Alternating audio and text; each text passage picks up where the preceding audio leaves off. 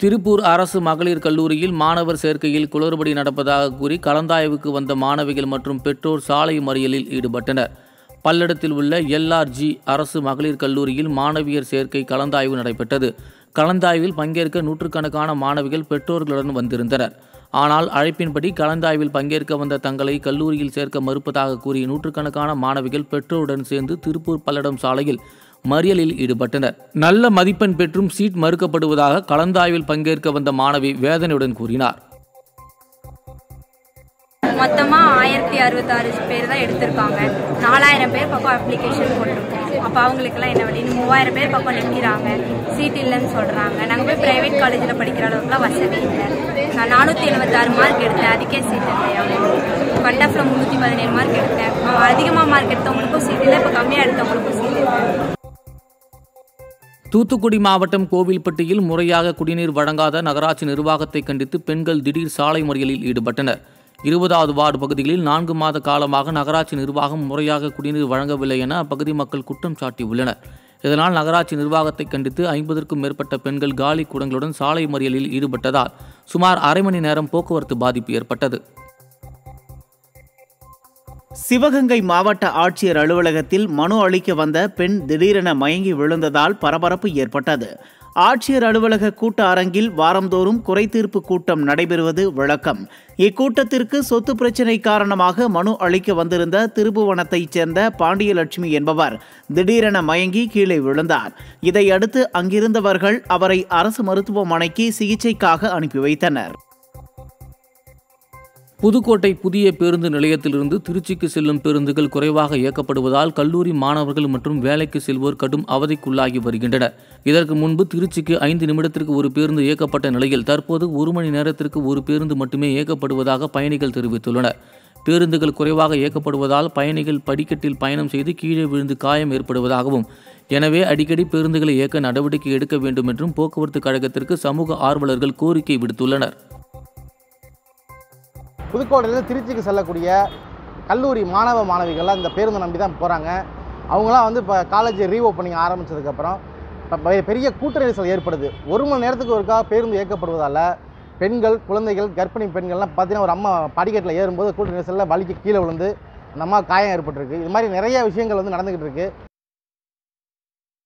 தூத்துக்குடி மாவட்டம் திருச்செந்தூர் அருகே plus two பொதுத் தேர்வில் எண்பத்தி ஐந்து சதவீத மதிப்பெண் பெற்றும் சாதி சான்றிதழ் இல்லாததால் மாணவர்கள் கல்லூரியில் சேர முடியாத அவல நிலை உருவாகியுள்ளது. அம்மன்புரம் பகுதி பழங்குடியினர் சமூகத்தைச் சேர்ந்தவர் சரஸ்வதி. இவரின் மகன் பூவலிங்கம் பன்னிரெண்டாம் வகுப்பு பொதுத் தேர்வில் ஐநூற்று எட்டு மதிப்பெண்கள் பெற்றும் சாதி சான்றிதழ் இல்லாததால் கல்லூரியில் சேர முடியாமல் அவதியடைந்து வருகின்றார்.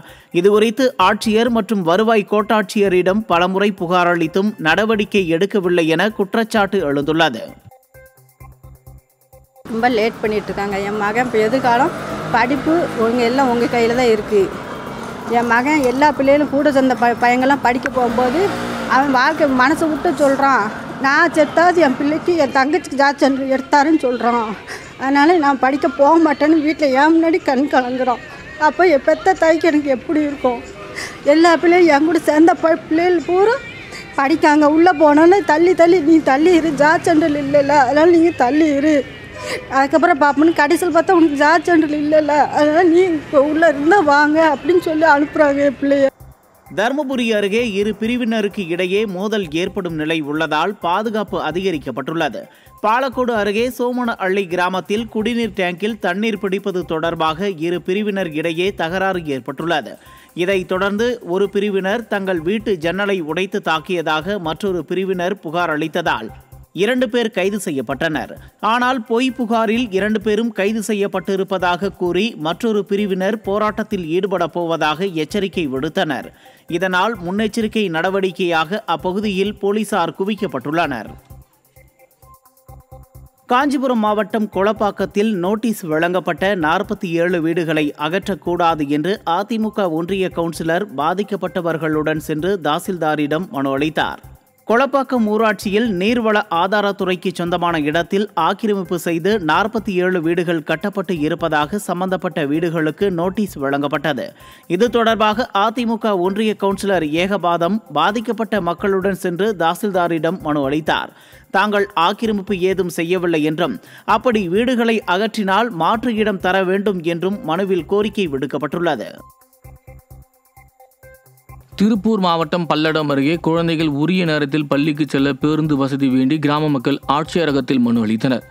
காளிவேலம்பட்டி கிராமத்திலிருந்து சாமி கவுண்டம்பாளையத்தில் உள்ள அரசு மேல்நிலைப் பள்ளிக்கு தங்கள் கிராமத்திலிருந்து எழுபதற்கும் மேற்பட்ட பள்ளி குழந்தைகள் சென்று வருவதாகவும் அவர்கள் சென்று வர குறித்த நேரத்தில் பேருந்து வசதி செய்து தருமாறு கோரிக்கை விடுத்த கிராம மக்கள் குழந்தைகளுடன் ஆட்சியரகத்தில் மனு அளித்தனர்.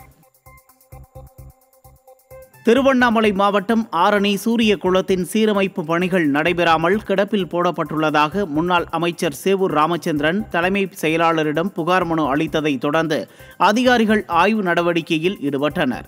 கடந்த அதிமுக ஆட்சியில் ஆரணியில் உள்ள சூரிய குளத்தை சீரமைக்க நிதி ஒதுக்கீடு செய்யப்பட்டது.